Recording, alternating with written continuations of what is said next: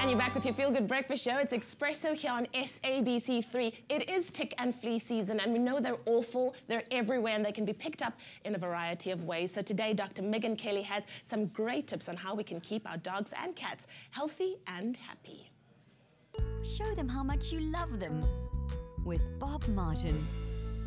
So it's time now to focus on our furry friends and a tiny problem that they have. But this little problem isn't so tiny, in fact, not invisible at all when it comes to its pestiness. Now, fleas and ticks are a common problem for our pets and us, and protecting them from these nasty little critters isn't only an important part of responsible pet ownership, but it's also a way to keep them happy and healthy. We're joined this morning by Megan Kelly, veterinarian at Holistic Vet. Good to have you here. Thank and I see you already warmed up to Bob and Bella.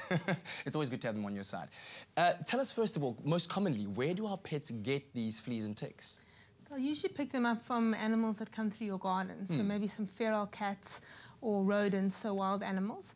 Um, but remember, if people come visit you, if they bring their pets, or just people might carry fleas from their pets um, into your household.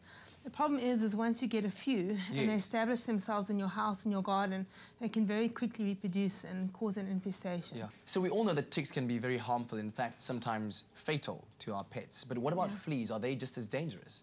Um, they don't carry as many life-threatening um, diseases or problems. Um, ticks are, are definitely worse. Um, they carry two diseases mainly, um, Babesia or biliary, and another one called ehrlichiosis. Um, biliary is a problem because it actually causes anemia. So the, the tick will bite the pet and it'll transmit an organism into the red blood cell, which breaks up the red blood cell, so they become anemic. Wow. And over long, if, if they're not treated, it can, it can actually result in death. Yes. Um, whereas fleas cause more sort of minor problems like skin problems, so you can get allergies. Um, and one thing which is a health implication to you and your family um, is that they carry tapeworms.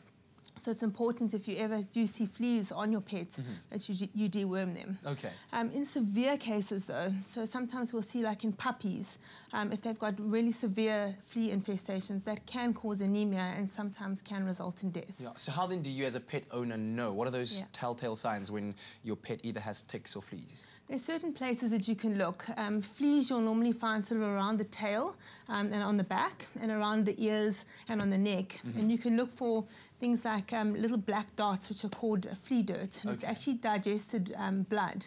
Um, or you, can, you might be able to see the fleas themselves. Yes. And then ticks usually attach in hard to reach areas, so underneath the arms, um, in the inguinal folds and around the ears. Yes. So you actually have to, if you, if you take your dog for a walk and you go in an area where there's long grass, when you come back, you should actually have a look through, through them and just feel through to see if you can find any ticks or fleas. Yeah, and I guess just kind of like generally, you know, when you groom your pets to be on the lookout for Yeah, things like exactly. that. Okay, so what about prevention though? How do we then make sure that our pets, uh, you know, as far as possible, don't get ticks and fleas? Yeah. I think it's important to do it regularly. So whether it's in winter um, or summer, so all those diseases are transmitted throughout the year. Yes. Um, you're going to find more ticks and fleas in summer, but whatever product you use, it must use all the different, um, treat all the different life cycles. So not just the adult flea, it must also do the larva as well as the pupa. Um, and if you do see fleas on your pets, that's usually only about 10% of the fleas in the population. So there's another 90% which is in the environment. So it's really important to treat the environment too. And you can use things like foggers or environmental sprays, wash the, the, the bedding um, and put it into the UV light. Yes.